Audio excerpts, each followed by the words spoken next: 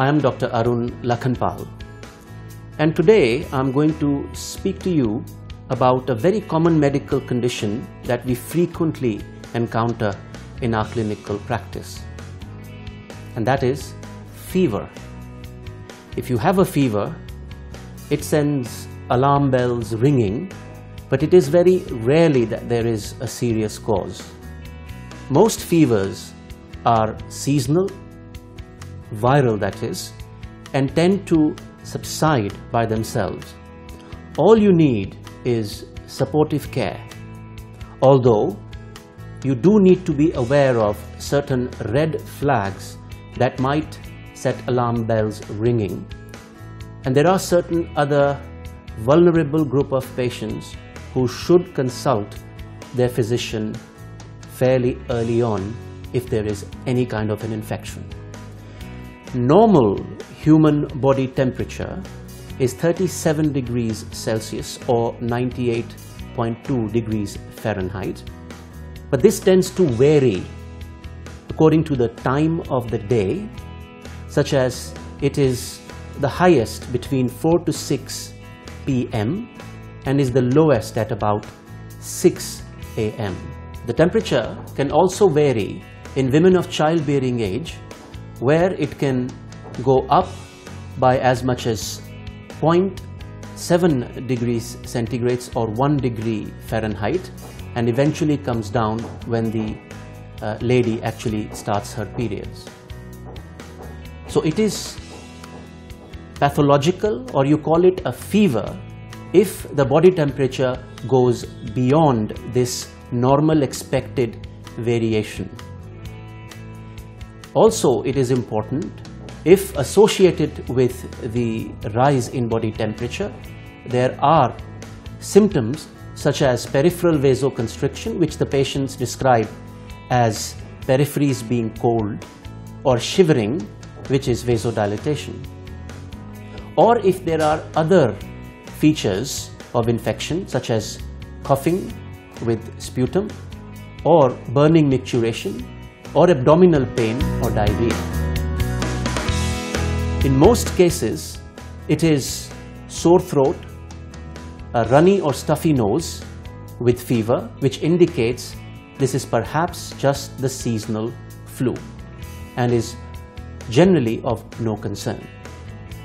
The red flags would be if there is associated headache and vomiting, or if the patient is getting drowsy or not passing any urine, or if there is a spreading rash, or if the patient is very cold and the blood pressure or the oxygen saturations are low. In such patients, you must immediately consult a doctor. Other groups uh, where you should consult a physician early on are people with seizure disorder because a high temperature lowers the seizure threshold and makes patients more likely to have a fit. And patients with advanced respiratory or cardiovascular diseases because the oxygen requirement and the requirement for adequate blood flow goes up during high fever. In the absence of any red flag or alarm symptoms in patients who are otherwise healthy with no specific symptoms, generally there is no cause for alarm. Yes, fever can be associated with certain malignancies like lymphoma or certain serious infections uh, like tuberculosis and it may also be associated with certain medications such as those used for depression or anxiety. But these fevers would be quite pronounced and would last more than 7 to 10 days, during which time the seasonal viral fever would tend to settle down. The advice is if you are healthy with no specific symptoms other than uh, a fever, mild cough, a runny nose, a bit of a body ache which is invariably there with any fever, then there is no cause for alarm. Take plenty of oral fluids, take rest and take paracetamol if you do not have any problems with your liver. Aspirin is generally avoided and I personally tend to avoid nimesulide but you can consult your doctor and take non-steroidals such as ibuprofen or diclofenac if you have used them in the past without any problems. If the fever still does not subside, you can use tap water sponging, that is soaking a towel in tap water and wiping your body to allow the temperature to come down.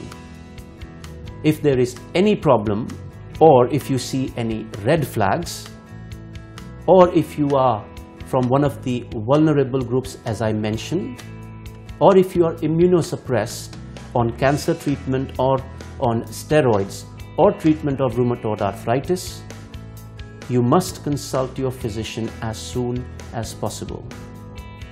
It is also important to measure your temperature and record its pattern and variability which helps us to pinpoint the cause of your fever.